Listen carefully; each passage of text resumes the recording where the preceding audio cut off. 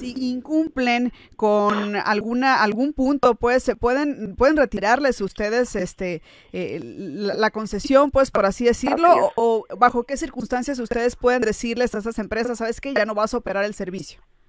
Bueno, se, se, se, está firmando un contrato, un convenio, se está creando una, una concesión para operar en la cual se estipula claramente las obligaciones y por supuesto los derechos que tiene como empresa, en la cual si no cumple alguna de estas, por ejemplo, vamos a poner que no cumplan este cronograma de acción o este planteamiento que hicieron de la entrega de unidades, que para octubre tengamos de 250 unidades tengamos en una empresa, por ejemplo, este tengamos la mitad entregada, pues eh, para nosotros es elemento suficiente porque se firma un contrato y está muy está muy claro en la, en la entrega de la concesión este que si no entregaron las unidades pues se les quita la concesión